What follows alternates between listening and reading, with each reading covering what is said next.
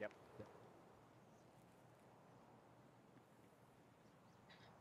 If you want, uh, I was gonna say if you want to let him pass, I'm gonna shoot from behind, but you're really close to him. Two. Two.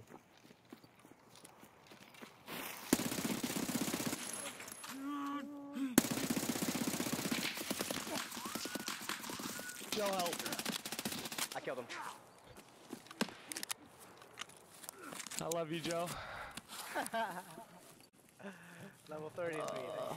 Looks like impactful. Told you someone was gonna come, dude. 54.